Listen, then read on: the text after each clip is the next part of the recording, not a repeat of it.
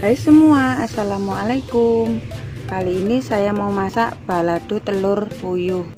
Gimana resep dan cara masaknya? Ikuti videonya sampai habis ya.